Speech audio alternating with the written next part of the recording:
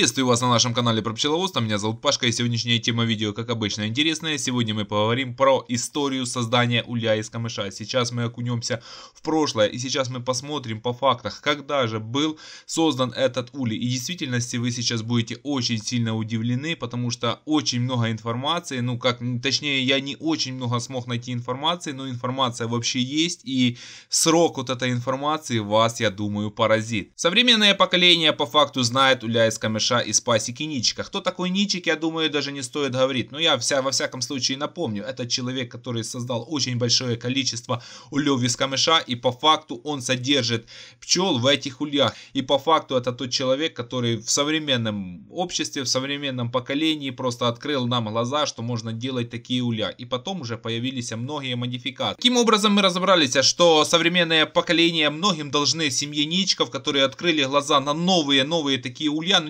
действительности ли они новые. Или оказывается, друзья, знаете, что они не настолько новые, насколько они старые, потому что есть одна определенная история.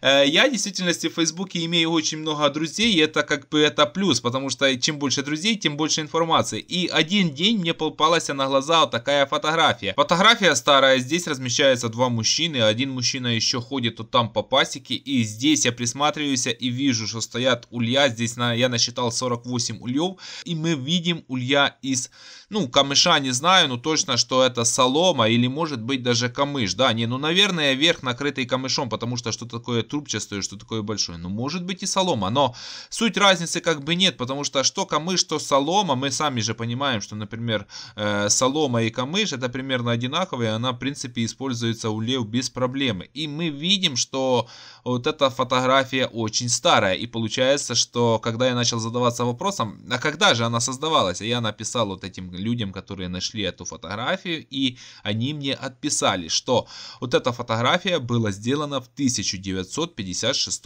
году. Это получается, что тогда, когда были колхозные пасеки, были вот такие уже улья, так? Ну что же, друзья, мы переходим к следующей фотографии, где мы видим, что пчеловод стоит на коленке, у него такие прекрасные усы того времени, прическа, рубаха видно, без воротника, которую сейчас на данное время не увидим. Он стоит на коленке возле улья. Улья походу из э, камыша, потому что такие характерные большие трубки. Я не знаю, может какого-то этого не такого камыша, как мы делаем. Ну, я не могу здесь ничего говорить, но то, что вот это э, материал природний, не дерево, это стопроцентово. Смотрите, как он собран, это получается корпусный улей. Я не могу понять, друзья, смотрю на всю фотографию, не могу понять, какая пора вот это года. Потому что, с одной стороны, мне кажется, что сбоку как бы цветет подсолнух. И понятно, что пасека как бы размещается на кочевке, так? Но мы видим, что все, вся пасека стоит в, в одном корпусе, и получается, что некоторые стоят два корпуса, это имеется в виду расширение. И на данное время мы на фотографии тоже видим, что пчеловод работает и по факту готовится или доставить корпус, или как бы работает на расширение. Я не могу понять, это у него как бы второй корпус для расширение или опять же он просто принес какие-то рамки. Но э, эта история умалчивает, мы просто наблюдаем и любуемся, что было раньше. Вот обратите внимание, я же говорю, что по сути я делаю точно такой корпус, как вот сейчас на фотографии, только с фальцами. Это имеется в виду, что уже прошло 66 лет, ну 67 лет, ну грубо говоря 70 лет назад вот такие улья уже были, чтобы вы понимали. Меня не было там и даже никто меня еще не планировал. А от эти улья были. Давайте мы посмотрим еще по пасеке. Обратите внимание, какие крыши интересные. Э, обратите внимание, как там ну, домик пчеловода создан, тоже походу накрытым чем-то. Ну, в общем, здесь все прекрасно. Так, давайте перейдем на следующую страницу, на следующую фотографию. И мы видим, я не могу понять, кто здесь. Но по факту вот мы видим вот этого нашего пчеловода, который сидит вот э, прямо вот перед нами, перед глазами. И по боках сидят тоже люди. Не, неизвестно, кто все красиво одеты. Ну, наверное, вот здесь слева сидит вот такой, сразу слева возле пчеловода и справа сидят какие-то люди, они более такие парадные, да, вот. Все в сапогах, есть что-то на столе, все красиво, все как бы, ну, как положено, да, все как бы по-богатому на то время, потому что мы знаем, что люди тогда не очень богато жили. Ну, вот, в общем, все прилично. Что это говорит, я не знаю, может быть, все пчеловоды, и они, по сути, все зажиточные люди. Куркули вот эта фотография очень интересная. Сейчас мы видим, вот этот пчеловод э, держит рамку. Мы видим, что рамка без разделителя Гофмана, но по факту она на 300.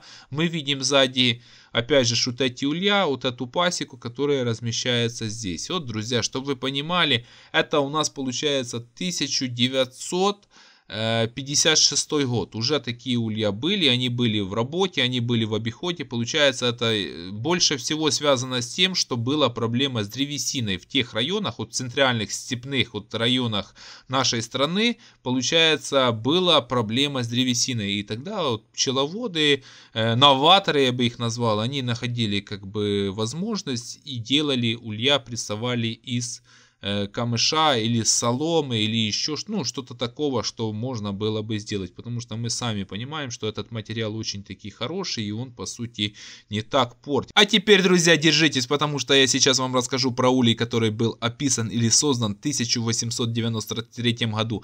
Эту информацию нам сфотографировал и сбросил, за что ему очень большое, очень-очень большое спасибо. Васильев Александр, это человек, ходячая библиотека. Кстати, можете обратиться до к нему, он продает книги. Можете обратиться, вот эти старые советские книги там или у него очень большая библиотека. Он много читает, много знает, так что можете к нему обращаться. Вообще классный. Благодарочка, благодарочка, очень, очень большое спасибо. Ну что же, друзья, переходим к фотографии этого улья. Он здесь, видите, какой очень таки интересный. Описание его. Соломенный улей англо-американской системы и станки для выдолбки оного. Нас интересуют вот такие улья. Обратите внимание, это же, это же рутовская система. Это, чтобы вы понимали, мы видим, что их вязали. Их, по сути, может быть, или прессовали. А, нет, наверное, прессовали и вязали, потому что мы видим вот сбоку, вот видите, вот справа стоит улей, и справа мы видим, что вот это в действительности прессовочный станок на какой на дереве, может быть, на камне, ну непонятно. Туда, наверное, все вставляется. Сбоку есть какой-то рычаг, который, наверное, надавливается и немного немножко прижимается. Солому, в принципе, не нужно так прессовать, как камыш. Она более, э, как, она более спокойно ложится, более спокойно прижимается и там таких как бы каторги, как мы, например, с камышом, как бы мы домкратами или как бы разными такими прессовочными механизмами вжимаем, так, там такой проблемы нет. Там легенько прижать, да, и вот, например, просто обвязать, привязать. Вот видите, вот такой красавчик получается. Давайте мы прочитаем, что же они описывают про этот улей. О соломенном улье англо-американской системы и о пчеловодстве в Верном.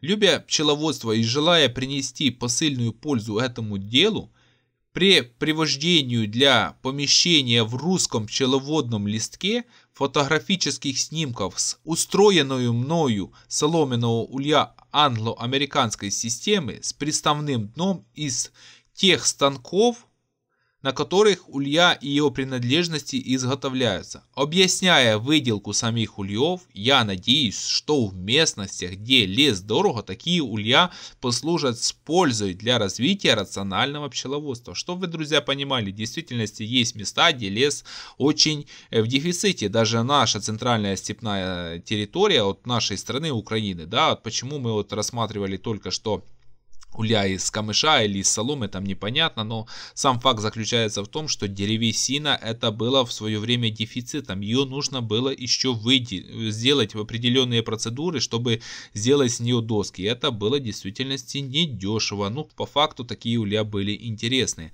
Насколько прочны соломенные улья в общее свидетельствует Делаянц. В следующих словах Рус пчел листке 1892 год, страница 280 21.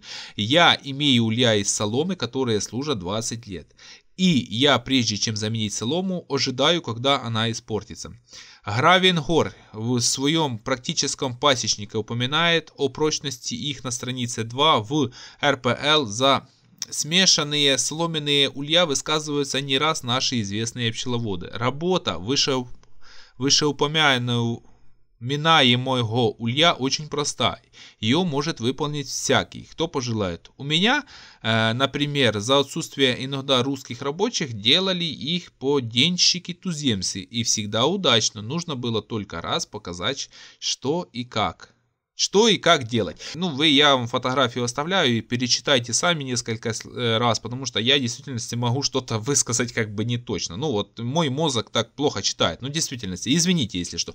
Но мы подчеркнули здесь информацию, что, друзья, в 1892 году было что-то написано про улей из соломы. Если мы посчитаем, что э, человек вот описывает, что они уже у него служат 20 лет, то я смею себе предположить, что 100 50 лет назад улей из соломы уже был. Мало того, что это был улей из соломы, это был корпусный, друзья, улей из соломы на, я насколько понимаю, на рутовскую 230 рамку англо-американской системы. Я сейчас из живот рву. Англо-американская система. Вы видите, как все поменялось, а мы сейчас просто называем рут, да, или лангроста рут.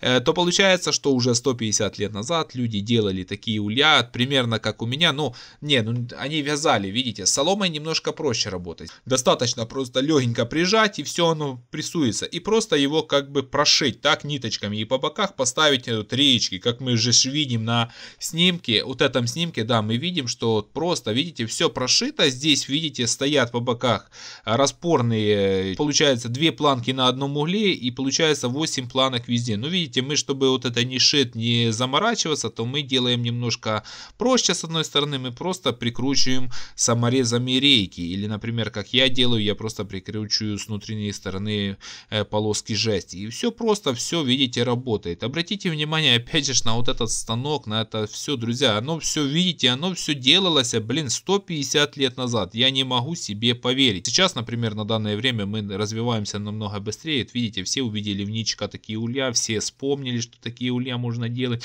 Начали люди говорить, что они знают, там, в деда, в бате они стояли по 30-40 лет, там улья из камыша. И мы так начинаем делать. Да, в действительности новый виток, новое развитие. И мы видим, что на данное время вот эти экологические, в действительности экологические, не побоюсь этого слова, еще раз назвать, экологические улья занимают как бы достойное место в современном пчеловождении. Они красивые, они как бы э, прочные, они эффективные. А, кстати, что еще хочу сказать, друзья, обратите внимание еще на вот этот корпус, который стоит на улье, и вот именно на корпусе из соломы. Видите, корпус деревянный, и как там позовочка сделана. Они уже тогда уже делали, вот снимку, да, сколько там лет, вот 130, 140, да, вот, нет разницы, они уже делали, а мы еще на сегодняшний день не делаем такой позовки, шипованной, видите, как стенки крепятся. Ну что, друзья, на этом хочу я, в принципе, закончить. Пишите свои соображения. Всем всего наилучшего. Всем пока.